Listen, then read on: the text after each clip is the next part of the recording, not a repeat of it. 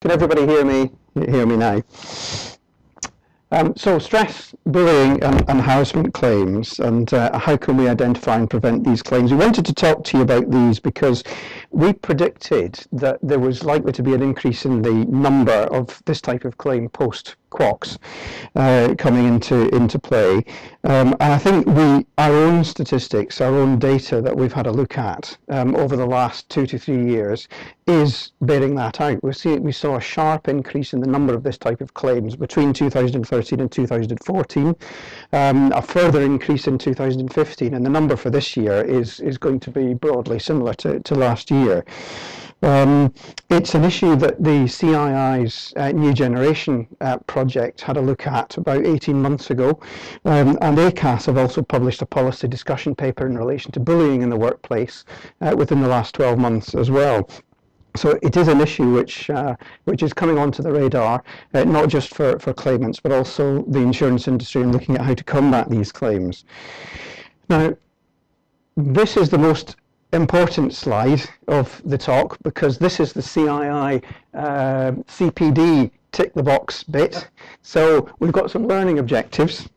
Um, the, uh, we're going to have a look at uh, deciding when in any given circumstances uh, policies, liability policies are likely to respond uh, in these type of claims and Vanessa's going to have a look at that in a minute. Um, we're going to try and understand um, how the technical complexities, and they are legion, this is a very technically complex area, uh, can be used to build defence strategies and where they create risks on both sides of the fence. Um, we're going to appreciate how to protect a defendant's position and contain costs through uh, early and effective investigation. Uh, and we're going to spot the risks and emerging issues. What we're not going to do is conduct a masterclass in the law on stress, because that would take us all day. But for those of you who are here for the CPD, the coffee's outside. Um, and I'm going to hand over to Vanessa first of all uh, to have a look at the, uh, the policy coverage side of things. Hi everyone. Um, right, I'm just going to touch briefly on um, policy cover issues. And I'm sure for most of you, the first thing, one of the first things you do when you get a new claim land on your desk is to think about what the policy issues are, and you're very sure very familiar with a lot of what the basic policy issues are on um, personal injury claims. Um, but there's quite a few that come up quite regularly on stress claims that are really important to understand at the beginning um, and place reservation of rights if you need to on the claims. Um, first one I'm going to look at is bodily injury. In a negligence claim, claimant has to prove injury to get home. So the policy will cover that claim because they have to prove personal injury. In a claim in the Employment Tribunal for discrimination or in a claim um, under the Protection from Harassment Act, you don't have to prove injury to get home. You only have to prove injury to feelings or anxiety and distress. So do your EL policies cover that? Well, potentially.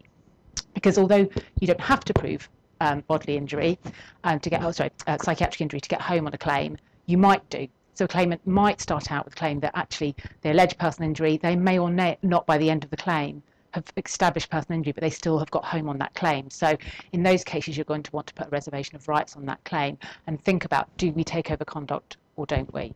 How substantial is the personal injury element of that claim? If it's, a, if it's an employment tribunal claim, um, is that the main part of the claim or actually are there more important other non-psychiatric injury elements to that, to that employment tribunal claim?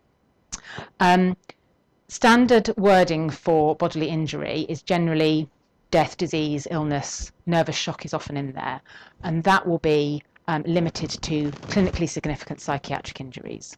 So the claimant's going to have to prove a, a, clinically significant psychiatric injury for your policy to respond. But we are seeing increasing numbers of, of extra bits of wording being chucked in there. Um, I think a lot of it migrates from a US, seems to migrate from US um, employers' liability policies, and you're getting wording like mental anguish, mental upset, those sort of wordings. Um, and that's definitely going to be straying into injury to feeling, anxiety and distress territory. So if you've got those kind of wordings in your policies, you have the potential to be covering injury to feelings awards and um, anxiety and distress awards that you'll get in um, the Employment Tribunal and in um, Protection from Harassment Act claims. So you need to look at your wording, policy wording very carefully and think about what reservation of rights you're going to put on, on claims and how involved you're going to be. And we'll come on to it in a moment, but um, decisions, you'll need to take decisions fairly early on as to do we jump in and take over conduct of this claim, or do we step back and just allow the insured to deal with it, or allow the insurance um, employment solicitors to deal with it? Um, and there's various, you know, tactical advantages to doing one or the other. Um, in terms of uh, deliberate acts, um, as you all know, you can't insure against a deliberate act because you don't like the colour of your carpet that your wife's bought you. You can't chuck a pot of paint over it and expect to get a new carpet. Deliberate acts you're not going to be compensated for. Um, if you're insured as an organisation, which often in stress at work claims, you're insured is going to be a company, deliberate acts by the employees of that company will be deemed accidental. So if your employees are committing harassment of each other, that's going to be covered by the policy. Um, if it's a deliberate act committed by an, the controlling mind of the company, so somebody who's significantly senior who can take major decisions on behalf of that company, then their acts will be intentional acts on behalf of the policyholder and cover won't apply. So if you've got a CEO of a company who's sexually harassing his um, PA, then it's likely that that isn't going to be covered under the policy and you need to put again put a reservation of rights in on that decline policy potentially if you need to. Um, late notification is another important area um, in stress at work claims because often you will get a um, case landing on your desk where there's already been an employment tribunal claim, claimant raised a grievance, claimant's been off sick for a really long time, has now issued um, a personal injury claim, and this is when you get notified about it that's probably too late because your insured probably knew at some stage before then that there was a claim there, that there was a personal injury element to that claim. They've probably been told the person's suffering from stress at work, um, potential arguments being raised about this has been caused by you or one of your uh, members of staff, and so you need to consider late notification. Um, as you know, you can't decline policy cover for late notification, but what you can do is reserve the rights to recover any damages that you have to pay out on that claim.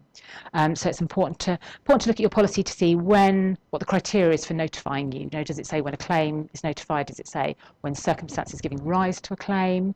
Um, so look at what your policy says about that um, and consider what the insured knew and when they knew it. Um, Another thing you might want to also consider is when you want to get involved in these type of claims. Um, as Chris will come on to in a moment, there's certain tactical advantages to getting on board in these claims at a much earlier stage. And so it's worth considering, do you want to encourage your insureds actually to notify you of these claims when they get a sick certificate in that says stress at work or when they get a grievance being raised that says, I'm off sick and it's because you've done this to me. Um, when an employment tribunal claim comes in, do you want them to start notifying you of these claims at an earlier stage so you can at least have some influence over what's going on? Because if you do, actually, you can uh, you have the opportunity to to create circumstances where you can defend claims or avoid claims completely, or at least mitigate the value of those claims. So it's worth kind of considering when you want to become involved in them. Um, uh, the last point I just want to touch on was um, employment tribunal claims. If an employment tribunal claim comes in, as I mentioned, you probably want to have a res reservation of rights there because um, the chances are there's going to be an issue over whether there's policy cover or not. Um, but it's also important to find out from your um, insureds if they have any other policies. I'm constantly staggered by the number of companies who don't actually know that they have legal expenses cover. A number of insureds where I get a mm. claim in and I say, well, have you got legal expenses? They go, yeah, we just found out we have. Yeah, we didn't know about that. And then you go, well, it's bit late now because you probably won't be able to notice because you know if you notify them now it's probably too late. But they just they just don't know they've got it or they know they don't realize that it covers employment tribunal claims. Um, and also EPL policies that are add on to D&O policies and there's lots of, of, of, policies that people just don't realize that they have. So it's worth finding out at a various stage are there any other insurers lurking around who can help pay for the defence costs and, and contribute towards that? Um, and if you do, just on a final point, if you do reserve rights, it's important only to tell the insured and to tell the brokers and to tell um, anyone who's connected with that, but also to tell the claimant. Because um, if you have a claim where it's an EL situation, the chances are they will expect that an EL policy will respond. And if there's any risk that the EL policy won't be responding, then the claimant should be aware of that at an early stage because there's potential cost issues there. So it's important not only to tell the, the uh, insured and the broker, but also to tell the um, to tell the claimant. And I think that's it for policy issues. Right. Um, to look again um, at, the uh, statistics in a little bit more detail, Michelle touched on some of the stats at the at the start of this, uh, but it's worth drilling into them a little bit in terms of trying to identify where uh, claims are coming from. Um, I think this works. Yes. Um, to start with, these these statistics come from the HSE research that, uh, as Michelle said, is published annually. So this is last year's statistics. They're the most up to date we have, and the HSE compile this from the labour force survey, which is a household survey. They, they do they run, they run this quarterly, and that's self-reporting. So people will self-report uh, when they have been absent. This is absence from work due to ill health, specifically due to mental health and stress-related issues. Um, and the statistics also come from GPs. Uh, uh, from the uh, Health and Occupation Research Network, which uh, some GP practices participate in. Um, so these um, statistics here show that um, where where claims are coming from in terms of prevalence, uh, you can see public admin and defence is the is the biggest area here, but the private sector next door, communication, business, and finance uh, is also fairly healthy in terms of numbers of uh, of absences from from work um, and it, it's sitting about the uh, the industry prevalence uh, industry prevalence overall. Um, in terms of breaking into the, the, the, public sector figures a little bit um, are down here. Um, where you might expect human health and social work. We see a lot of claims in education a lot of teachers a lot of employees in schools um, and uh, flicking on a little bit to to this the the sectors the sectors tell us only so much, uh, but these are this is breaking it down a little bit more by occupation. Um, and uh, if you look here, and this is important, if you're thinking about IBNR and where your potential pool of claims might be coming from, look at this. Um, this is professional occupations, and this again is prevalence, but it's the most prevalent um, uh, of all in terms of uh, in terms of the type of occupations. Now that's relevant because insofar as people are off sick with um, psychiatric illnesses allegedly caused by stress, um, and you're looking at loss of earnings, the, the biggest loss of earnings potential is going to be in this kind of area and that's we're looking at the, high, the, highest prevalence here. Next door to it, managers and senior officials and next door again, associate and technical professions. If you take those as a lump, um, and you're looking at IBNR, um, that that's these are could be potentially quite expensive claims. Interestingly, uh, lower, slightly lower, uh, we've got sales and customer service. I find that interesting because if there, if there's a target-driven environment, the epitome of a target-driven environment, it's got to be uh, certainly historically sales and customer service. Maybe these industries have got their act together recently. I don't know what the explanation for that is.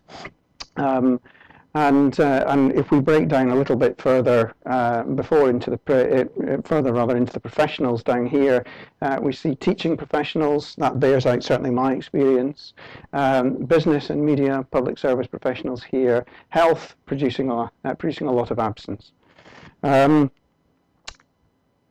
this slide represents um, our experience of where we see issues in stress claims arising, what's driving claims, what, what are the kind of factors in the workplace, particularly which are driving claims. Now this correlates quite closely, perhaps it's unsurprising that it does, but it correlates quite closely with the HSE management standards, uh, which was guidance issued uh, back 2004-2005 to employers as to how to manage stress in the workplace, how to run risk assessments in relation to stress, and where issues might arise. Um, the top one, um, th this is really to do with workloads, um, work overload type cases, the, the amount of control people have got over their, their work and how they do it. Uh, relationships, that's where your bullying and harassment cases are potentially going to come from.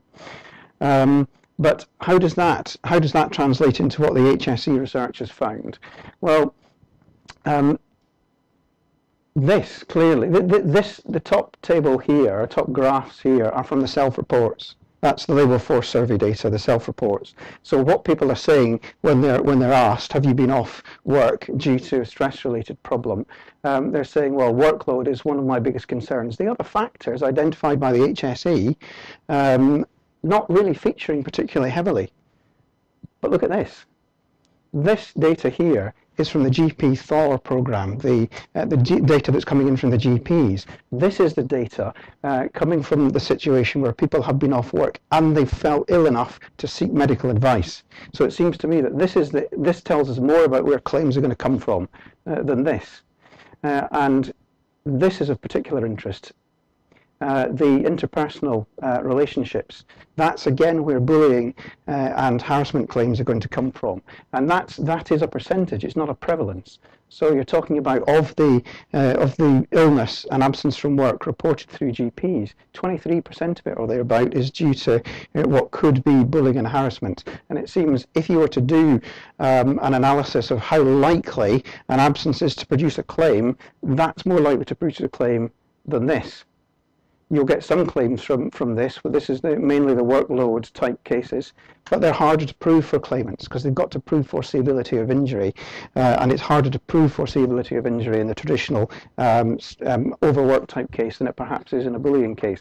So that's a bit of a backdrop on the on the statistics uh, and where claims might where you might start to see claims coming from.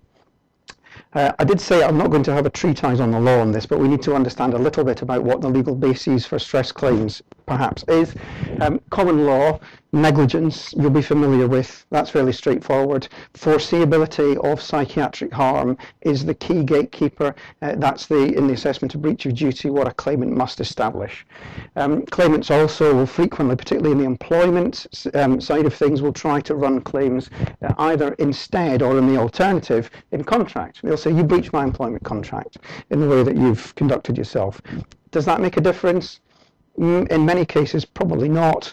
Um, foreseeability comes in at the assessment of what losses are foreseeable as a result of the breach, rather than in looking, is there a breach in the first place? But ultimately, foreseeability has got to be there.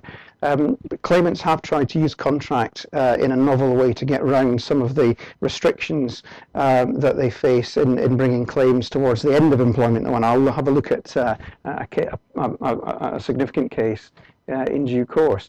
Statute um, is the last area to look at. Um, Vanessa has mentioned employment tribunals and claimants can have statutory causes of action for distress and compensation for injury to feelings under various acts. The obvious one is the Equality Act discrimination um, of, uh, in relation to various protected characteristics arising in the workplace. Not necessarily arising in the workplace though, PL discrimination can arise as well. Uh, Protection from Harassment Act is a major uh, consideration. If claimants can establish the necessary degree of conduct to establish harassment, then they don't need to prove foreseeability which is a major advantage for claimants. So claimants in a bullying case will try and also bring a statutory case under the PHA as well. And there are other examples. Data Protection Act is one that uh, that is often missed, uh, but could be a source of claims also. Um, so um, this is a bit of a takeaway. Um, this the slides will be available to everybody online after this, um, but you can keep uh, you can refer to this. Um, but this starts to show you where some of the complexities for claimants might arise. Let's look at limitation. Um, if you've got a, uh, an employment-related uh, discrimination claim where there is a personal injury claimed, which would trigger a liability policy, you've got three months. The claimant has got three months to bring that and they must they must bring it in the employment tribunal. Cannot bring it in the county court. If you see that in the county court, strike it out. Um, Equality Act, public liability, it's six months. So different again to what you'd normally expect. This time got to be brought in the county court. Uh, the usual common law and uh, contract cases, it's three years because it's personal injury is the time limit and it can be brought in the county or high court. But look at the Protection from Harassment Act, six years six year limitation period. So don't get caught out by that. It's another reason why claimants like it. Um, if they've messed up uh, in relation to the common law or other causes of action, uh, they may have six years to bring a harassment claim if they can establish that. Um, so uh, worth bearing all these in mind. Don't get caught out, but watch for claimants who are caught out by these. Um, what about strategies for um, defence strategies for trying to close uh, these claims down? Well, there's there's four. There's three technical ones and there's a general one. So let's deal with the technical strategies potentially first of all. Um, settlement agreement. Um, Vanessa quite rightly mentioned uh, that you need to think about when you want to be notified about these things or when you want to notify your insurers uh, about uh, the type of situations which might lead to a stress claim. If you have somebody who goes off work uh, saying that they're stressed, if they bring a grievance in relation to matters which have caused a stress-related illness, uh, or may give rise to an absence, if there's a performance management process going on, if there's a disciplinary going on, uh, which leads to uh, the type of situations which might give rise to a stress-related illness. Knowing about this at the earliest possible stage gives you the opportunity to start to deploy preventive strategies in relation to claims. And this is the value of a very astute insurance broker uh, or an astute claims manager at a policyholder who can bring these issues to the attention of an insurer at an early stage and give them the chance to get involved. Um, if there is a termination uh, of employment, a termination payment made when someone's employment is, is terminated, or if there's an employment tribunal uh, which is settled, uh, there is uh, a settlement agreement or, a, or a, uh, an agreement entered into in relation to any termination payment or settlement payment that's being made. That will set out the various different claims which are being compromised. Uh, it's very important that you cover, from an employment perspective, all the potential employment legislation under which an employee might make a claim. But from the point of view of a liability policy, there's the opportunity here to include, one, the Protection from Harassment Act, and secondly, personal injury claims, of which the claimant ought to know uh, at the point of entering into the agreement. If you can get that into the wording, any future claim is gone and you'll be able to, to meet it with a defence of accord and satisfaction. Say, look, you, you, have settled, you've compromised this, you've settled it. Um, now, claimants will, of course, often not agree to that if they're properly advised. There is also the risk that if you try to argue for that, you might put ideas into heads and set hares running in relation to potential future uh, personal injury claims which weren't contemplated at that stage. But if it's clear that there's going to be a potential claim, or there might be, um, it's worth getting involved at that stage, riding shotgun with the, the policyholders, um, employment lawyers, and seeing if you can protect your position for future claims uh, in this way. Sometimes, if you've had the chance to do an early investigation, you've worked with the policyholder and it's clear you're going to be at risk, you might be able to make an ex gratia to top up an employment related settlement to get your all claims discharged and you might buy off a six figure reserve with a payment of a few grand. It's not for every case, uh, but it's worth considering if you feel you're at risk. Um, the next point is abuse of process. Um, this goes back to the employment tribunal once again, um, and it goes back to an ancient rule. That's why Methuselah is on the slide. And it comes out of a case called Henderson and Henderson from 1843. If you have a cause of action, you've got to bring all your claims relating to that cause of action in one action. You can't bring lots of actions one after the other for different aspects of your loss. So if you're in the employment tribunal, and as I've said, if you've got a discrimination case and you've got an injury claim related to your discrimination, the Equality Act says you must, must bring that in the, uh, in the employment tribunal within three months. So if you've run your discrimination case, you've got um, a remedy in the employment tribunal for that, then you issue some separate proceedings in a few years' time for, um, for a psychiatric injury in the county court. That's an abuse of process, and there's an authority to that effect. Sheriff uh, Sharif, it is, in fact, in Klyne Tugs. Um, so that's worth bearing in mind. If you've got a claim and there has been um, an employment tribunal run already involving something which would have given rise to a right to personal injury, such as discrimination, then you must be uh, you must be alive to that, and you could run this potential argument to get rid of it at the outset. Manner of dismissal is another uh, is the third uh, technical um, potential strategy. Um, this involves making a distinction between whether the acts which have caused the psychiatric illness come out of the employment or whether they come out of the process of a dismissal. So if they come right at the end, now obviously this involves termination of employment cases. This is not where someone's still employed. This is where employment's come to an end. Um, but if, in order to give rise to a civil claim for damages capable of triggering your policy, um, the acts which give rise to the loss have got to have arisen prior to the dismissal. If you can argue that the acts which have given rise to the loss come out of the actual dismissal itself, to the process of dismissal, then you can stop the claim in its tracks. And the reason for that is because Parliament has said anything to do with dismissal comes under the employment rights legislation. And no, it doesn't get dealt with in any other way. So it gets dealt with under employment rights legislation. It's subject to the only remedies that that legislation gives, um, and it has to be dealt with in the employment tribunal. Now, the key thing, the case of Dunnachie on the slide, you don't get damages for personal injury in employment rights claims. So if you if you have a constructive dismissal or a dismissal unfair dismissal case, you're not going to get personal injury damages, and that's tough. Uh, you might have been dismissed in an appalling way. Um, you might have had a psychiatric injury as a result, but Parliament has said, too bad. You, you get a financial remedy uh, in relation to your financial losses, uh, capped, uh, but you can't have personal injury arising out of that. So it's critical if you've got a case where someone someone's employment has ended um, uh, in the context of a stress claim to work out has this come out of the manner of dismissal or has it come from what happened before the dismissal? Uh, and the key authority for that is Johnson and Unisys, and that's why we call that process of dismissal bit of the claim the Johnson exclusion zone, because it excludes uh, the possibility of bringing a personal injury damages claim.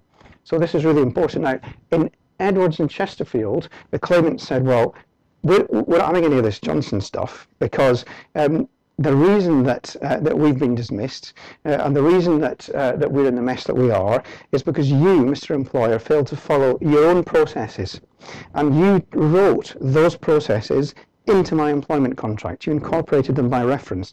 So I'm not running. Um, I'm not running a dismissal case. I'm running a breach of contract case. So I, I don't, I'm not affected by Johnson. And the, the House of Lords said, no. Um, if it is to do with dismissal, whether you're running a contract case or any other uh, way of trying to get around this, you're brought within Johnson, you're brought within the employment rights legislation, and you're restricted to the only remedies they give you. So Johnson exclusion zone, really important to look at it. Um, it gives rise to lots of arguments though, because where does the zone begin? What about in a lengthy disciplinary process, which may start with an investigation, um, and then there's a report, and then there's a recommendation to proceed with a, a, disciplinary, then there's a letter to the claimant saying, we're going to take you to a disciplinary, um, and then there's a couple of adjourned hearings, and then there's a final hearing. Where does the zone begin? Well, there isn't any clear guidance from the courts on this, but what we can say is that the, the further before the actual point of dismissal you get, the less likely you are to be able to bring yourself within the zone. Um, but it's very, very important uh, issue to be aware of uh, at the earliest stage. Um, so that's just summarising. If, if it's an antecedent breach, if it's a breach of duty which arises during the employment, uh, and before you get to the point of dismissal, uh, then you're in civil claim territory. Uh, if it's manner of dismissal, if it's actually to do with the dismissal process itself, uh, then you shouldn't be paying any claims. Um, and the final, the final tactical issue here is uh, just to stress the merits and the importance of getting involved in this type of case at the earliest possible stage, maybe before there's a letter of claim. If you know there's a circumstance which might give rise to a claim, my strong recommendation would be to invest some time and effort in investigating it, preserve the evidence, possibly get involved with the insureds, uh, with the policyholders, employment lawyers, and helping to steer the claim into one of the three areas that I've just described before there is a claim to set up a potential uh, defence strategy. Um, and the other key issue is know your risk and know it early. Because if you can't, if you don't have any of these technical defences in a QOCS environment uh, where a claimant is going to bet on you wanting not to run up a huge amount of money you can't recover, but equally is going to be pursuing this case on a CFA, you want to be showing the claimant a, within the pre-action protocol period how much time and resources you've thrown at this, how good your investigation has been, and give them a really robust denial so that they can see the mountain that they've got to climb on a CFA if they want to issue proceedings. Or, if you really are at risk, get it settled before you get into litigation because the costs in a litigated stress claim, particularly that goes to trial, uh, can obviously be very high. And I've said at the end, don't dismiss the portal. Uh, we've actually just admitted one bang to rights case in the portal. The claimants has sent it through in the portal, no doubt chuckling under their collar and thinking, we'll see what the defendants make of this. Well, we've got a great, the policyholder did a brilliant job uh, on originally in investigating, and we know that we're bang to rights, and we've admitted it in the, in the portal, and we've got portal costs out of that. Now that's potentially a six-figure um, saving on reserve. So it just, I, I, I caution, don't dismiss the portal altogether. I'll hand back to Vanessa. Right, so um, I'm going to look at sort of a few red flags. Um, essentially, it's ways of managing claims, a um, few things to consider when you're handling stress claims, and some recent changes to case law that it's worth bearing in mind um, just when you look at how to um, to progress with these matters. Um, as Chris mentioned, um, if you can get involved in an early stage, there are lots of tactical reasons for doing it. You know, it's it's you can ward off claims, you can prevent claims from going ahead, you can settle potentially within um, uh, uh, the uh, terms of a settlement agreement, and another important aspect of that is managing the employee because as part of a claim, particularly if it's pursued in negligence, you have the foreseeability test. And so often an employer will only be put on notice that somebody is at risk of suffering a psychiatric injury when they're told, well, they've been on long term sick or um, they have raised a grievance which says, you know, their health is being affected by the fact they're working too long hours or their boss is bullying them. So there'll be some trigger there that will put the employer on notice that this person is potentially going to go down the route of a claim, but, but stepping back from that, potentially just going to be going off sick. Um, and so it's important to manage that employee, and it's important for your insureds to understand how to manage those employees. Um, as I say, a grievance is often a, the, the, first step in a process that an employer is aware that there's, a, there's an issue with this particular employee. And a well handled grievance process can present you with the best defence possible in a claim because it will show that the employer took notice of what the employee was saying, they approached it properly, they analysed the situation, they investigated it, and this was the conclusion they reached. Um, it's always difficult when they make an unhelpful concession in a, in a grievance. You know, you get get grievance uh, outcome letters where you read it and you go, yes, Mr. we found Mr. Jones was harassing Miss Smith, and um, she told her line manager and he did nothing about it. So we're really sorry about that. Uh, so you know, you don't want them to go down that route because that's complete complete as any defence you might possibly have. Um, return to work is another important part of the process that if somebody's gone off sick then you're on notice that, person is um, vulnerable to psychiatric injury. And so when they come back to work if they do come back to work um, it's really important that you then take steps to make sure that employee is protected. And so the return to work process is really important. Um, you know you need to make sure that the person sees occupational health that they um, there's a return to work meeting that the reasons for the absence are discussed. Why were you off sick? What can we do to support you on your return? And if those steps are put in place, again, that builds up a brilliant defence to a claim if, if a claim is ever pursued. Um, so it's, it's really important for your insurers to understand this. And if they don't understand it, there's a question of, well, do you start as insurers intervening at an earlier stage or you know, do you put structures in place so that insurers understand that these are the steps they need to take to protect their, their uh, positions?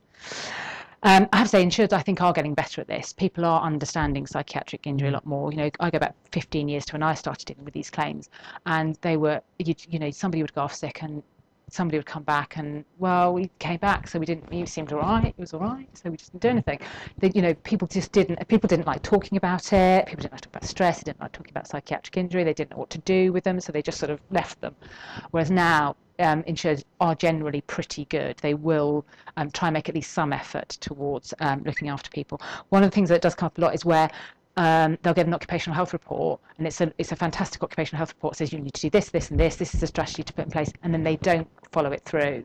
The insurers need to understand that they need to, you know, if they if they receive advice, and they need to try and follow it. Otherwise, that gets them into worse trouble. Um, I think Chris touched on earlier about the um, capability terminations that if somebody is going out under a settlement agreement, then you can get in there and prevent a claim being pursued. Um, suspensions and disciplinaries. Um, it's amazing how often people go off sick as soon as they're being disciplined. It's extraordinary. Mm it's the most, you know, every single time a stress claim comes in that there's been any kind of disciplinary, it's generally somebody was performing badly or doing something wrong. They were told they're going to be facing a disciplinary and they go off sick with stress. Claimants seem to think that it provides them with some sort of immunity to mm. being disciplined because well now I'm stressed you can't do anything to, to progress the disciplinary because I'm stressed so you have to just let it go um, which is of course complete nonsense. But in but insurers have to be careful about how they then manage that disciplinary they have to approach it in the right way. They have to make adjustments to make sure that when the person is going through the disciplinary process that they're, they're treated properly. Um, uh, a great case is, is Matthew still around Matthew Harrington is he gone? Mm. Matthew Harrington was here earlier, and uh, he had a case of Mean and mm. um, Coventry University, which is a great example of this. Um, claimant was a senior lecturer, and she was accused of giving a an inaccurate reference uh, for a former employee. Um, she they did. Coventry University did the right thing. They did a preliminary investigation, decided, yeah, there was a case to answer here. So they um, commenced disciplinary proceedings against this lady. She went off sick with stress The disciplinary continued quite properly. They did it in a, in a quite proper way, um, and uh, decided that actually she hadn't done anything wrong, and the um, disciplinary wasn't upheld. She brought a claim and said, "You should never have progressed the disciplinary." Um, clearly, the outcome was that I was exonerated. So you know, you've you've subjected me to stress, and I should be able to recover a claim. Um, and what the court said was no. They did an investigation. They realised there was a case to answer. The test is whether it was within the reasonable range of decisions that an employer could make. You can't expect all employers to be perfect. They're not always going to make absolutely the right decisions. But as long as it was a reasonable decision based on the evidence that they had at the time, then they were quite entitled in this case to proceed with that disciplinary and it's not a breach of duty. So a properly carried out disciplinary is perfectly acceptable. Um, contrast that with the case of Yapp. Um, and the Foreign Office, uh, Foreign and Commonwealth Office, and that was where there was an over, chap working overseas. Um, he was accused of sexual misconduct. The Foreign Office went, "Oh, potential reputational issues," and they dragged him back without doing any kind of investigation whatsoever. Turned out that actually the, it was entirely spurious. The, the allegations against him were just absolute nonsense. Um, and the court said, "Yeah, you basically in breach of duty to him because you didn't do anything investigation at all and you knee-jerk reaction dragged him out of his post so that was a breach of duty that breach of duty did cause him an injury so you know you caused him an injury there's no there's no question there but they still fell down on the foreseeability hurdle because they said it wasn't foreseeable that somebody in that situation being removed from their post would suffer a psychiatric injury. They'd be stressed by it, they'd be upset by it, they'd probably be livid, but it's not foreseeable that they would suffer a psychiatric injury as a result. So that foreseeable foreseeability hurdle mm. is still there.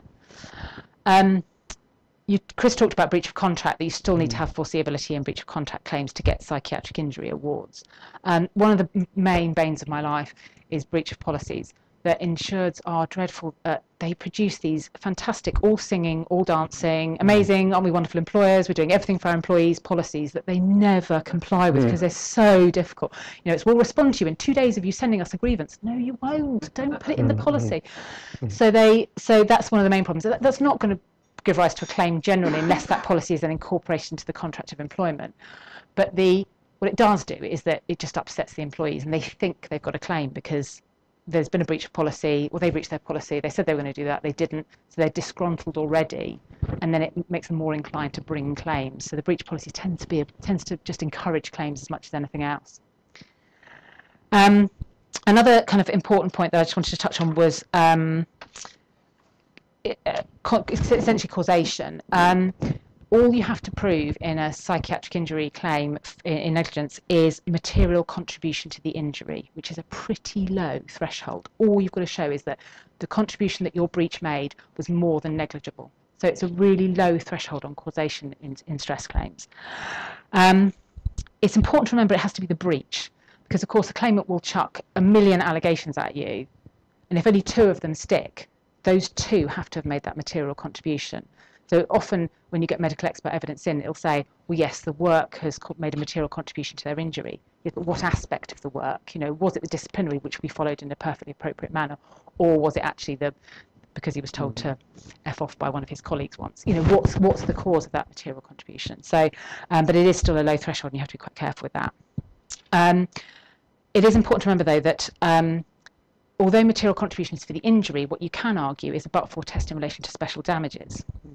That um, although you've caused the injury, so you're liable for the for the general damages of that injury, if because their dog died two weeks ago they would have gone off sick in any event, then you can argue that they don't get over the but-for test, and therefore you're not liable for the lost earnings that flow from that you're only mm. liable for the um, for the injury element, and that can knock out a huge amount of the claim, huge amount of the claim, because often the, the biggest value of the claim is, is the lost earnings element.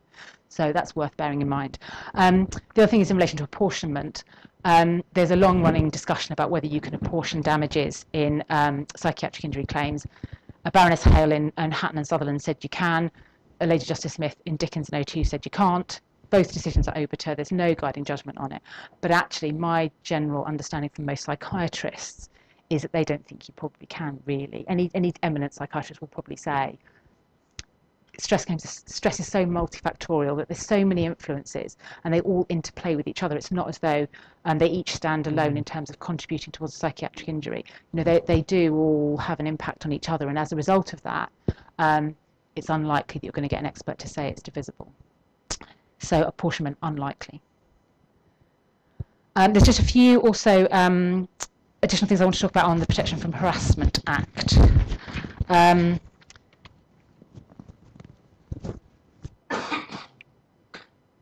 as Chris mentioned, you don't have to prove foreseeability under the PHA. So the hurdle, the, the, the, the, what stops us having um, a floodgate of claims is the test of harassment. What constitutes harassment? And it's a reasonably high hurdle. You know, it's got to be oppressive and unacceptable conduct. It's got to be of an order that would attract criminal liability. It's really quite a high hurdle that, that claimants have to get over.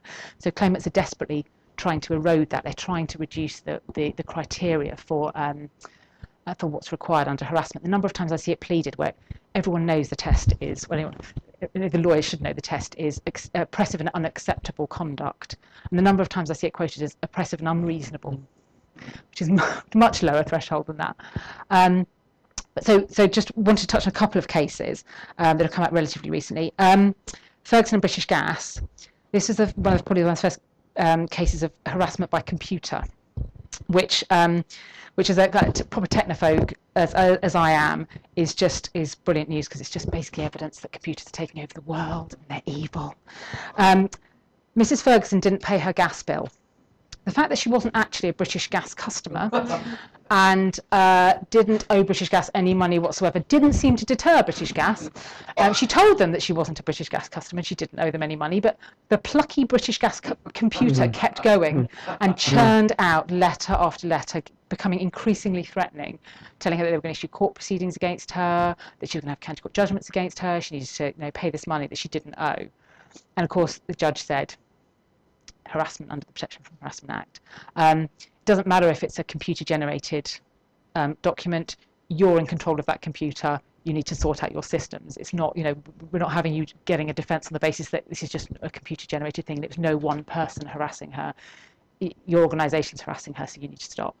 So that was one of the first cases where it's, you know, extending who can who can be responsible under the Act. Um, Roberts and RBS was very similar. Um, RBS made over 500 phone calls to this lady over the course of less than a year um, to talk about her account with her. And she told them on several times, I don't want to talk about my account with you, please go away. And they wouldn't, they just kept phoning, kept phoning, kept phoning. And again, court said it's harassment. Compare that to Calland um, and the Financial Conduct Authority, where it was only three times that contact was made um, a letter, a phone call, and an email. Now, similar sort of tone to, in Roberts and in um, potentially early stages of Ferguson. Um, but because it was only three times that it was done, there's no liability under the Protection from Harassment Act. And it's because of the context. You know, it's, it's not about necessarily the individual acts themselves. It's the fact that in, in Ferguson and Roberts, there was this cumulative effect of 500 phone calls and, and relentless, relentless letters um, to Ferguson. Um, and so context is really important. It's not necessarily the individual acts, but, it, but context is important. Um, does it have to be criminal? Well, as I mentioned before, um, it has to reach the level of an order that would attract criminal liability. Um, one of the defences that has been run on these is that, well, um, no, no prosecution would ever run this. You know, cases where it's a, it's a manager harassing a, a member of staff. Well, this, the Crown Prosecution Service isn't going to pursue that. No prosecutor is going to pursue that. Um, but in um, Veakins and Kier Islington, the judge said that's not the right test. The test is, is it of an order that would attract criminal liability? So is the, is the seriousness of the offence of an order that would attract criminal liability? It doesn't matter whether the CPS would ever have pursued it as a, as a prosecution. That's not the point. It's whether, it's whether the level of the offence is enough to be criminal liability. And that, that, um, that threshold still stands. So it still has to be serious enough for it to be a criminal offence. Um, the last one on, under the PHA is does it have to be targeted at the claimant? Now, historically, it's always the case that if you were going to bring a claim under the Act, it had to be targeted at the claimant. The behaviour had to be targeted at the claimant. Um, and then came along the case of Levi and Levi and Bates. Um, Mr. Bates uh, controlled Leeds Football Club. And he had various grievances against Mr. Levi, and so he thought he'd be very clever. What he did in, in two of his newsletters um, for the football club, he said, if you don't like the way things are going, here's Mr. Levi's name, uh, name, address, and phone number. You might want to address some of your issues to Mr. Levi, knowing that, of course, there'd be this flurry of um, correspondence and phone calls towards Mr. Levi and his, uh, his, uh, his personal home. Um, so Mr. Levi brought a claim, but Mrs. Levi also brought a claim. Because what she said was, you knew when you put that in there that I lived in that house, and you know that I'm going to be subject to that harassment as much as my husband's going to be. And for the first time, the court said, "You're right. You can you can be awarded damages because it's foreseeable that you would fall within the harassment. You would be subjected to the same um, uh, degree of behaviour, and uh, you would have the same." Uh, anxiety and distress as a result of it. So first time you had cases where it doesn't have to be actually be targeted at the claimant. People who are sort of on the periphery can also be drawn in. Um, another area that's um, expanding at the moment is um, vicarious liability. Um, and uh, it touches in relation to stress claims because under the Protection from Harassment Act, you have to prove vicarious liability for an employer to be responsible. Um, it also, in discrimination cases, it also applies sometimes to prove that you're, you're responsible for the acts of your employees. Um, and also, you occasionally get assault cases and things um, in stress at work, you get sexual assault cases, that kind of thing. So vicarious liability can be an important part of um, a, a, stress at work claim. Uh, the, the, quote at the top was what one of my um, a, a, managing director of one of the um, insured companies that I was acting for said to me um, when I suggested that actually he was going to be vicariously liable for what one of his employees had done. He just had no, he just didn't get it at all that that he could mm-hmm. possibly be responsible for something somebody, one of his idiot employees, had done. Um, there's a sort of two-stage test with vicarious liability. Is the relationship between the wrongdoer and the defendant sufficient that the defendant should have to be responsible for this person's behaviour? Normally, it's employees.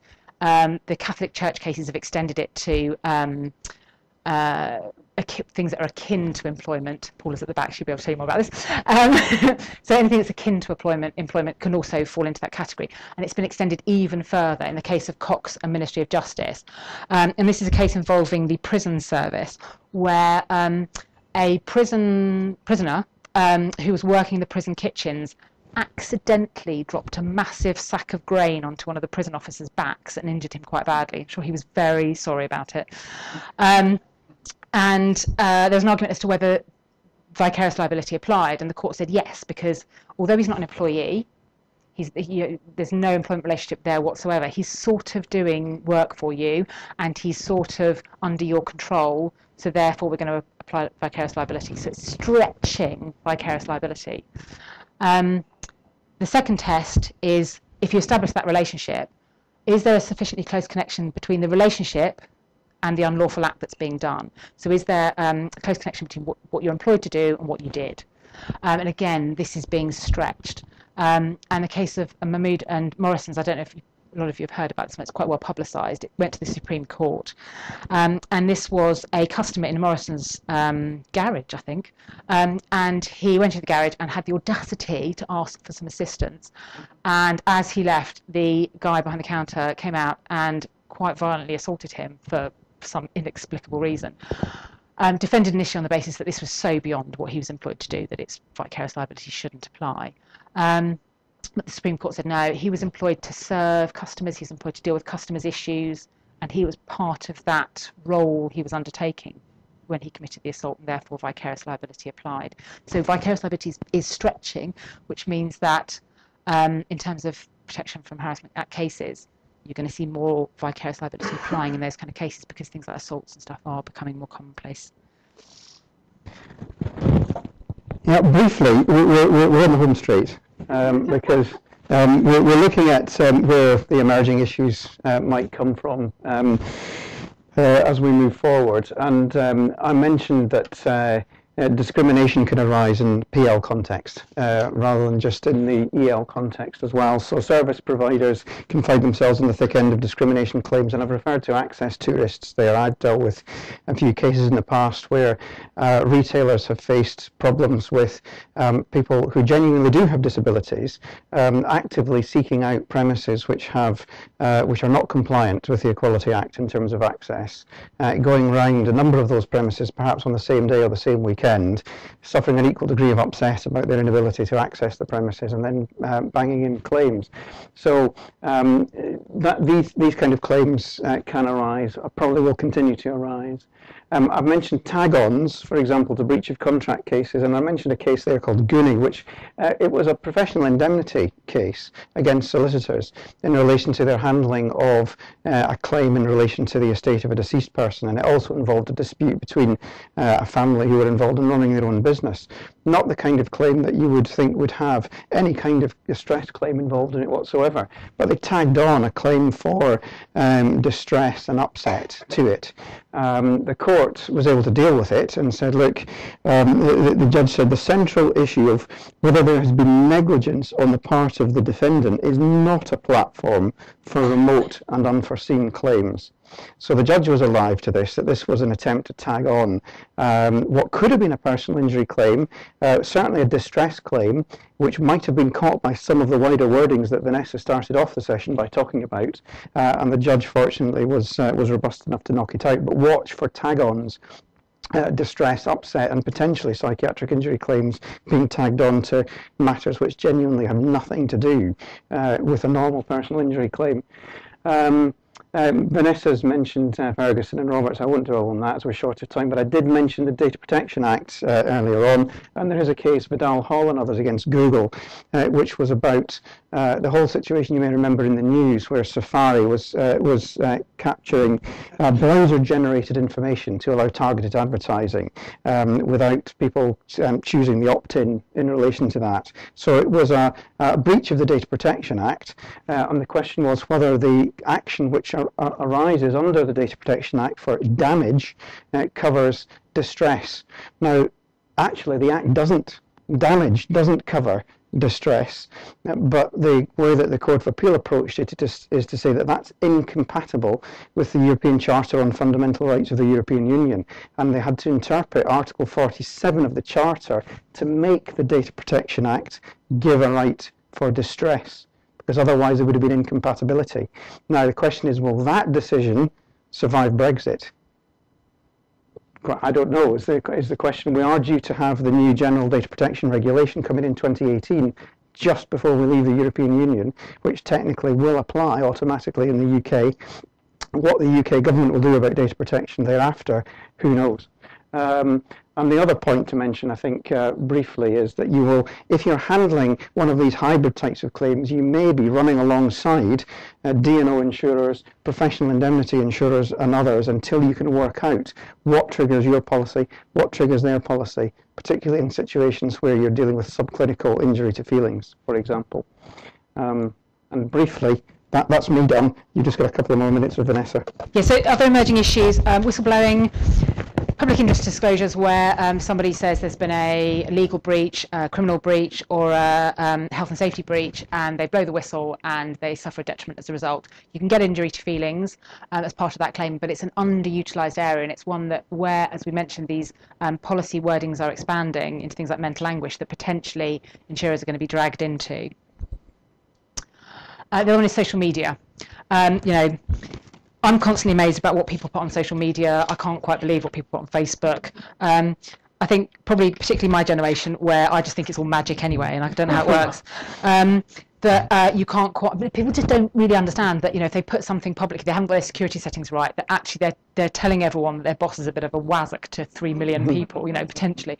Um, so use of that if you have claims, perfectly entitled if you've got it because they've publicly um, disclosed it to people, then you're perfectly entitled to use it.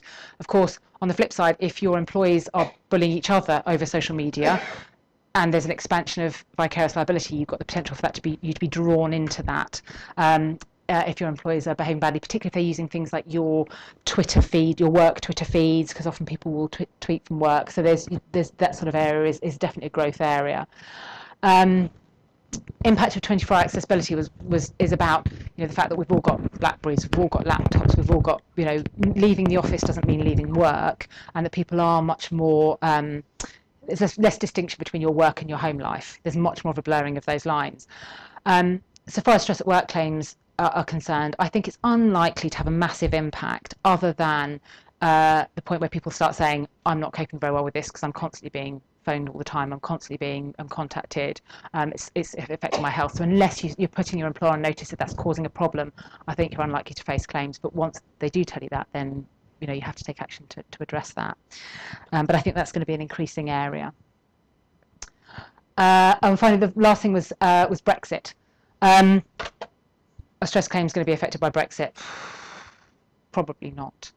Um, as Chris mentioned, there's a potential for legislative change. You know, a lot of our employment laws, a lot of discrimination law comes directly from Europe. A lot of our health and safety laws come directly from Europe. But I don't think there's a massive appetite for changing drastically as soon as Brexit happens. Um, are we going to face compensation claims for staff who feel bullied over expressing their Brexit views, as the Telegraph thinks? No, I don't think so. And that's it. Sorry for going on so long.